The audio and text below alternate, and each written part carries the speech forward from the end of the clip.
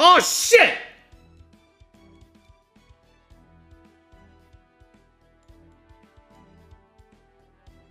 Hey, uh... The Saber Club's two blocks down.